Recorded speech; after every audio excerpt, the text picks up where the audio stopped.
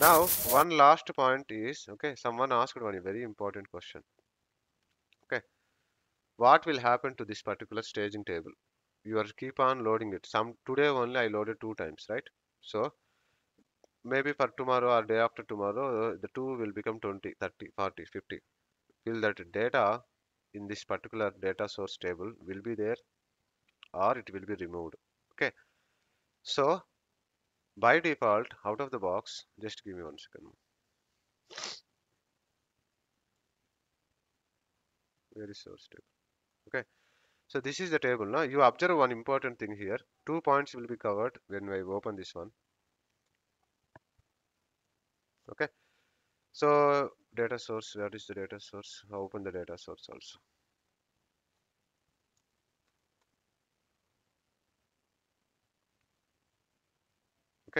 so this is the data source. So far I think I loaded three times correct? Three times or two times no? Three times whatever it is okay? Now the data is getting loaded in this particular table no? So three times uh, let's say three times I loaded it. That means same sometimes I'm loading the same record now will it update the existing record? So 900 record I loaded three times. Will it create three different records in the import set table or it will create only one record and it will update every time just this is a little confusing topic. I am talking about import set table not target table.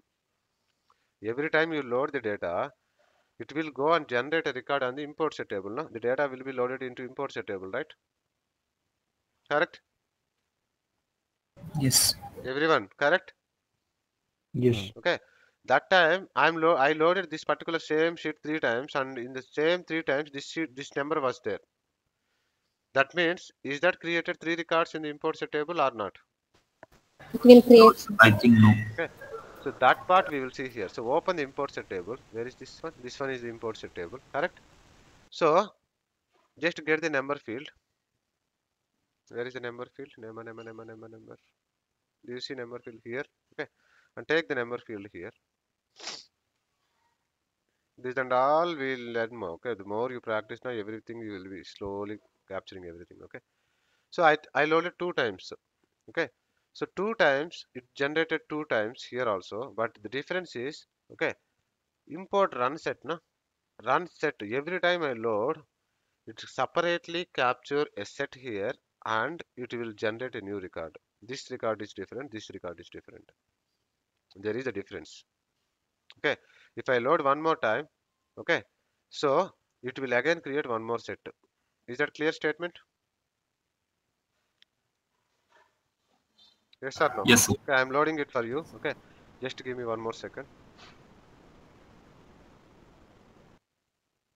Right? So before that just let me show one more thing okay. Before i load i will show one more thing okay. So import set table okay totally how many records are there ma? Okay whatever the rows that we are loading into two two times okay? So it is how many? Nine. Nine into two. I think first time we loaded many okay and then nine correct? So now i am loading nine. So if i load nine now those nine will be added here. This is the first point correct? Yes, sir. let's load it now. Everyone understood this point ma? Right now okay two times we loaded okay? Every time you load it one runs okay? It, it captures with this uh, separate number called run set something. Okay? So based on the set run import set uh, number it will capture. So first time i loaded 19 16 second time i loaded 9 third time i am loading now. Okay? So this time nine records are there. So load records. These records will separately come and store they they will come as a record but they will be categorized separately with a separate number here. Okay? So loaded? Hmm, loaded. Okay now refresh it. Okay? So 25 become 34 okay? So here.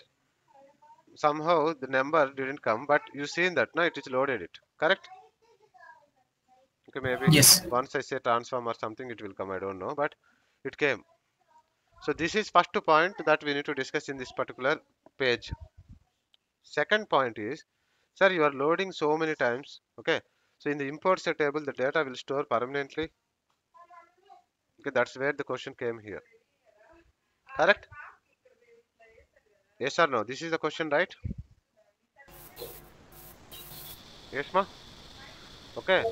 The answer Yeah. is by default, there is a job that will clear it, okay, for seven days. Okay. What is that job? So go here and then say scheduled. Okay. Scheduled cleanups. Where you see cleanups here? Okay. Import set table, schedule cleanups. Okay. In the schedule cleanups, you have a job called this one and it runs for seven days. Okay. So what is this? Anyone can tell me? Set. What is this? Anyone can tell me? That's it. tables are where the data is your input data is stored Wherever you see something called new underscore something, what it is called as ma? Scripting. API, API, API. It's a API or it's a script include. Simply it's a script include. Okay. That means you are running some job to clean those things. So you are going to import a table, checking it, okay, checking the time, okay, and then you are clearing it up. Okay, that and all you don't require now, but a simple thing is based on the number here. If you say seven here, that means seven days. Okay, it will check and then clear it up. Is that clear, everyone? The answer for this question is seven days. And let's say if someone will ask you, okay, can I make this one 14 days? Yes, you can do it. You are changing the out of the box configuration from 17 to 4, 7 to 14. Is that answered? Yes, sir.